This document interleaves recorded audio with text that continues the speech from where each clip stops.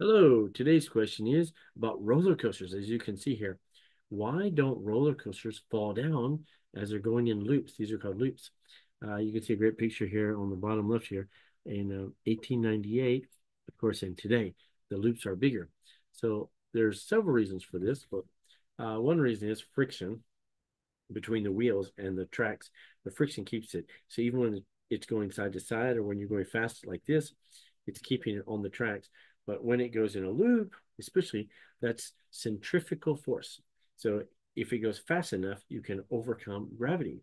Uh, that's why, for example, if you take a bucket of water and you turn it around, if you go really quickly with the bucket of water, of course, it doesn't spill out because the force in it is keeping it together. So centrifugal force making it spin enough. That's why it won't fall down. Thanks again uh, for watching these videos. Don't forget to ask us any questions you might have. Thank you and see you in tomorrow's video.